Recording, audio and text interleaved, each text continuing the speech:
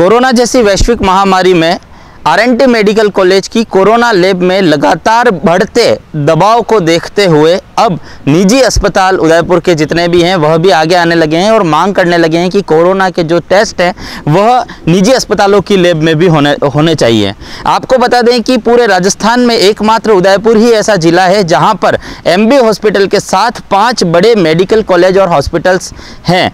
इसका फ़ायदा ज़रूर उदयपुर जिला प्रशासन को उठाना चाहिए। इस वक्त हमारे साथ पैसिफिक मेडिकल कॉलेज के चेयरमैन राहुल जी अग्रवाल हैं। हम उनसे जानेंगे कि अगर यह स्वीकृति निजी हॉस्पिटल्स को मिलती है तो किस तरह का फ़ायदा आम जनता के लिए भी हो सकता है किस तरह का दबाव प्रशासन का कम हो सकता है किस तरह से राहत मिल सकती है? सर उदयपुर न्यूज़ में स्वागत है सर आपका। उदयपुर न्यूज़ को मैं बहुत बहुत आभार जो आपने मेरे को बुलाया।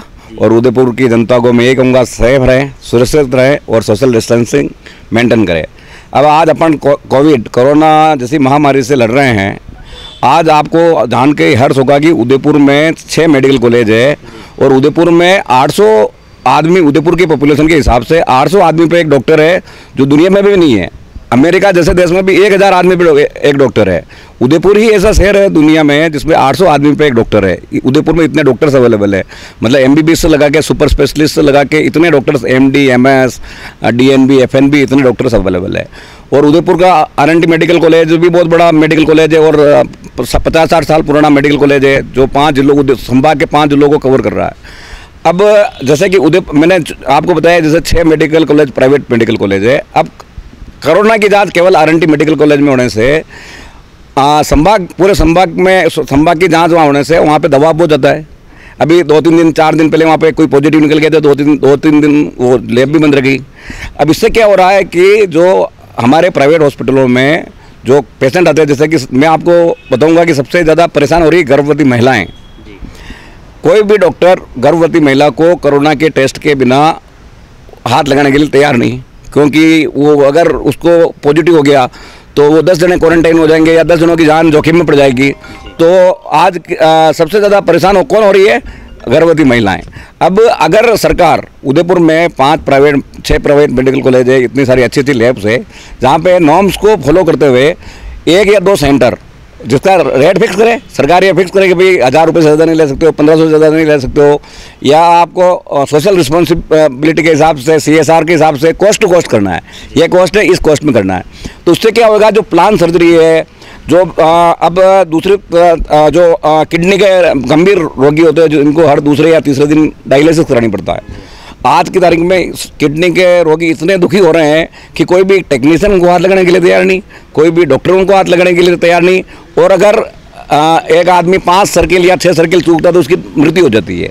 तो कोरोना से जितने आदमी नहीं मरेंगे उससे तो कई गुना ज़्यादा ज़्यादा या दूसरी बीमारियों से मर जाएँगे। तो मैं राज्य सरकार से और कलेक्टर महोदया से ये सब, आ, मैं मतलब आपके न्यूज़ के माध्यम से ये आग्रह करूँगा कि जल्द से जल्द मतलब इमीडिएट इफ़ेक्ट से उदयपुर में एक प्राइवेट निजी जाँच की अनुमति दे, उसके आपके नॉर्म्स फॉलो करें और उसकी रेट तय करें।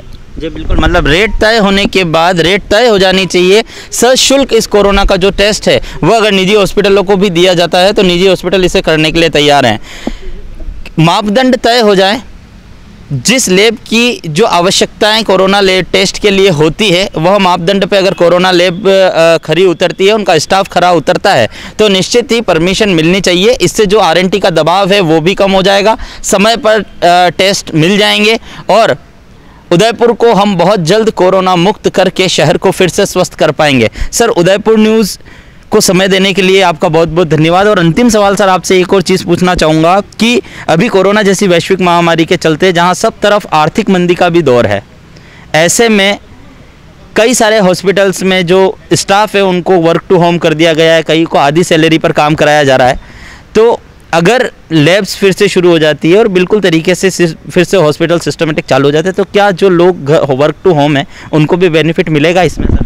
जैसा कि मैंने बताया कि उदयपुर राजस्थान ही नहीं इंडिया ही नहीं वर्ल्ड का one of the biggest medical hub है मेडिकल सेंटर है।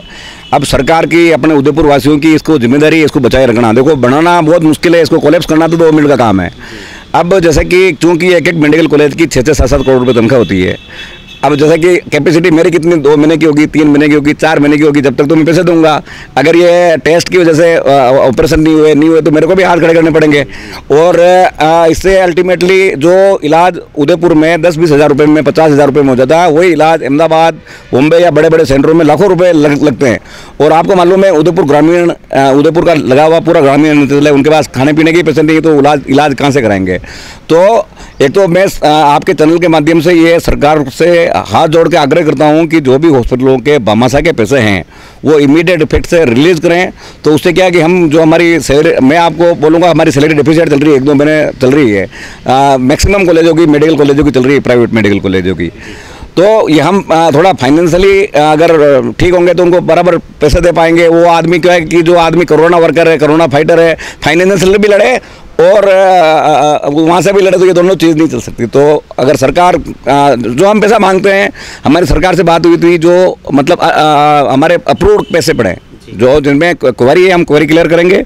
हमारा आदमी बैठे उनका आदमी बैठे क्वेरी क्लियर करे उसके बाद पेमेंट करे। पर जो हमारा फ्लोटिंग में बैलेंस दिख रहा है वो हम इमीडिएटली इसको छोड़े। तो ये पैसा अल्टीमेटली सब कोरोना वर्कर्स के पास ही जाएगा क्योंकि हॉस्पिटल में तो नर्सिंग कर्मी है टेक्नीशियंस है डॉक्टर्स है।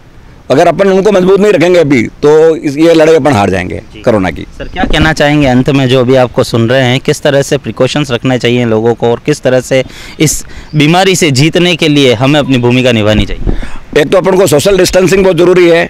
समय समय पर हाथ धोएँ। सैनिटाइजर का बहुत ज़्यादा उपयोग नहीं करें क्योंकि एक स्टडी आया है कि इसको बहुत ज़्यादा उपयोग करने से दो तीन महीने लगातार बहुत ज़्यादा उपयोग करने से स्किन कैंसर हो जाता है। तो सैनिटाइजर उपयोग में लाए पर तीन चार बार। और हाथ मैक्सिमम से मैक्सिमम धोए और अ, मतलब जो सरकारी अपने आदेश है उनकी पालना करें मतलब जैसे कि जहाँ तक संभव हो तो घर पे रहें बहुत ज़रूरी हो तो निकले और सोशल डिस्टेंसिंग की पालना करें। जी। ये थे राहुल जी अग्रवाल। आ, हमने सर से जाना कि किस तरह से अगर प्राइवेट हॉस्पिटल्स को और लैब को अगर स्वीकृति मिलती है कोरोना टेस्ट की तो यह शहर के लिए भी अच्छा साबित होने वाला है। और साथ ही एक और नई बात कि यदि आप सैनिटाइजेशन करते हैं, अपने हाथ को बार बार सैनिटाइज सैनिटाइज़र से धोते हैं तो आने वाले समय में नुकसानदायक साबित हो सकता है। हाथों को बार बार धोएँ, जब तक आप अपने घरों में हैं, तब तक साबुन से अपने हाथ को धोएँ, और जब आप घर से बाहर हैं और अति आवश्यक होता है, उस समय आप सैनिटाइजर्स का उपयोग करें। फ़िलहाल अभिषेक जोशी को कैमरा पर्सन जॉन परमार के साथ दीजिए इजाज़त। नमस्कार।